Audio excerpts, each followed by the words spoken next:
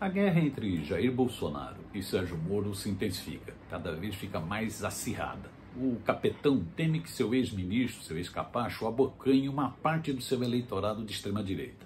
Já o ex-juiz Eco sabe que só chegará ao segundo turno da sucessão presidencial se desidratar o atual presidente. Nessa semana, a revista humorista Cruzoé, da mesma, das mesmas antas que edita um site antagonista, divulgou um petardo contra um aliado do fascista no poder ela mostrou imagens do deputado Josimar Maranhãozinho, do PL do Maranhão, com maços de dinheiro que seriam de um esquema de corrupção com emendas parlamentares do sinistro orçamento secreto do governo. A denúncia tem como base uma investigação da própria Polícia Federal, que fez o flagrante da grana em outubro do ano passado, no escritório do bolsonarista. Apesar das imagens da apreensão e de outras provas coletadas nesse período, até hoje nenhuma medida concreta foi tomada contra o parlamentar. Agora ele vai para a Comissão de Ética do Congresso, a ver o que vai dar. Mesmo assim, ele anunciou recentemente que deve disputar o governo do Maranhão com o apoio do fascista que ocupa o Palácio do Planalto. Na quarta-feira retrasada, dia 30, Josimar Maranhãozinho, inclusive, esteve no festivo ato de filiação de Jair Bolsonaro ao PL, em Brasília.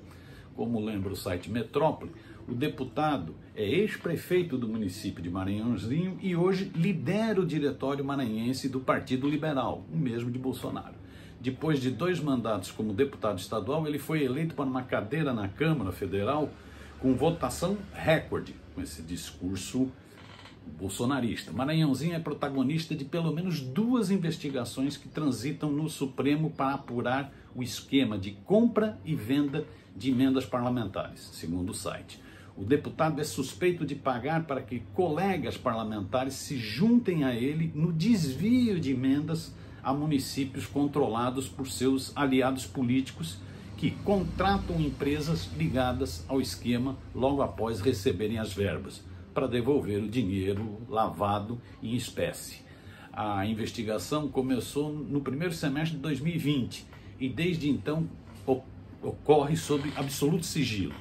Diante dessas denúncias, que até hoje não deram em nada, a Rede Sustentabilidade ingressou em 3 de novembro com representação no Conselho de Ética da, da Câmara Federal contra Josimar Maranhãozinho.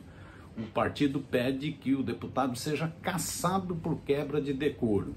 Segundo o jornal Estadão, a ação se baseia na reportagem da Cruzoé que aponta que o parlamentar é suspeito de corrupção. A revista obteve fotos que seriam de investigação da Polícia Federal sobre o desvio de dinheiro de infraestrutura e da área de saúde. Nas imagens, Maranhãozinho aparece com grandes volumes de dinheiro nas mãos, segundo o Estadão.